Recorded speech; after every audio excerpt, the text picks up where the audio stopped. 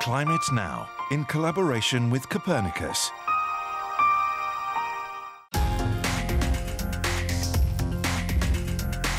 Hello and welcome to Climate Now and this month we're here in Ireland on this very special dairy farm which is aiming to become 100% climate neutral while also turning a profit.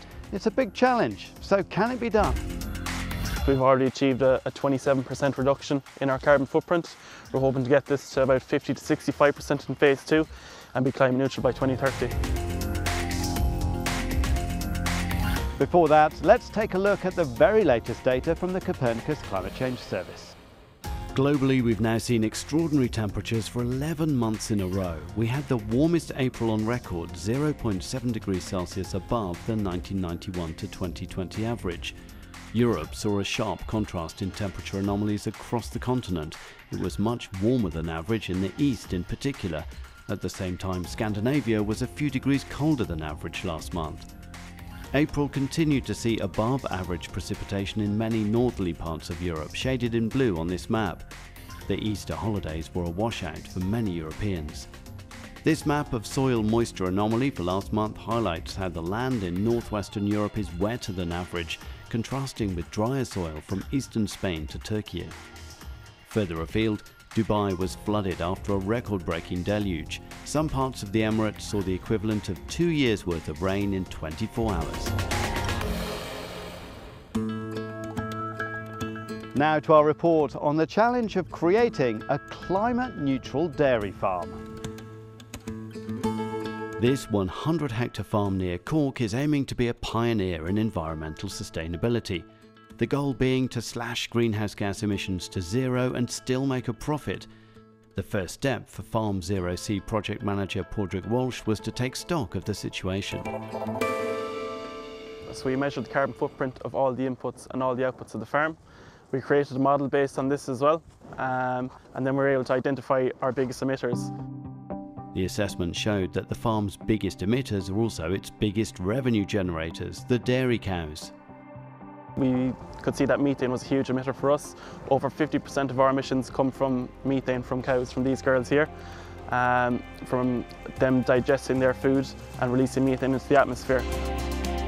There's no easy way to reduce methane emissions when the cows are grazing, although during the winter when the herd is indoors there are additives that do make a difference. We're getting about a 7% reduction in our methane emissions by feeding this cows during the housing period. And this chemical additive reduces methane emissions from storage slurry by, by about 75%.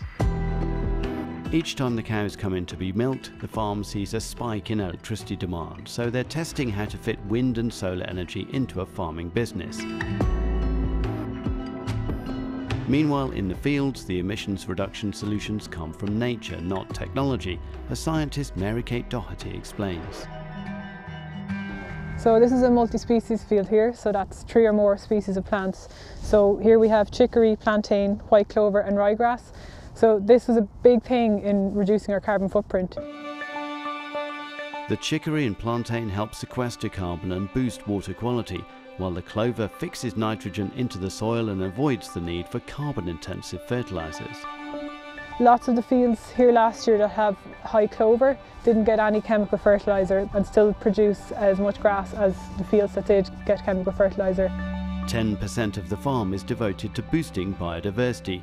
Creating wetlands isn't profitable today, but the project aims to test so-called carbon farming, which would reward this type of landscape. This kind of area is providing a lot of benefits for the wider, wider environment and we feel farmers should be paid for that.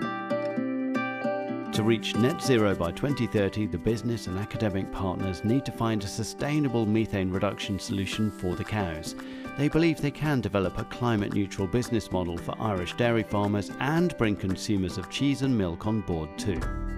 We believe that consumers will pay a premium for our uh, lower carbon footprint products. Uh, we all need to tackle the emissions challenge together and if we want farmers to reduce their own emissions they're going to need to be rewarded for that as well.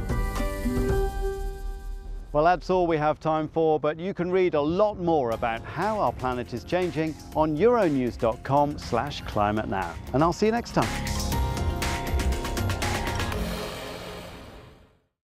Climate Now, in collaboration with Copernicus.